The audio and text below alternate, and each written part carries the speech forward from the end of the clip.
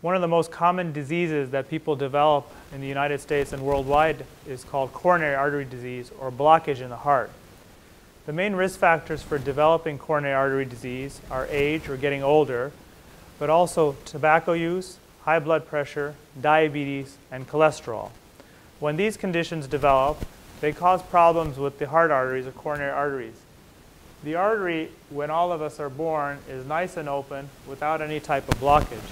Over time, when you have these risk factors, especially if they are not well controlled, the artery starts developing blockage in the heart.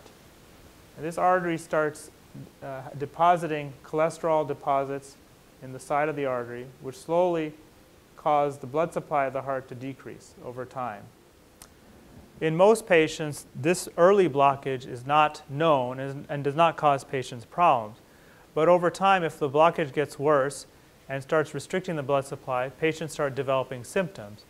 Most commonly, patients develop chest pain or shortness of breath.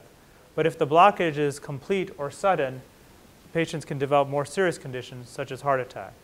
For these reasons, it's important to try to treat this problem before you get to this stage by making sure that you don't smoke, that your blood pressure is under control, that your cholesterol is treated, and that your diabetes is under as good of control as possible.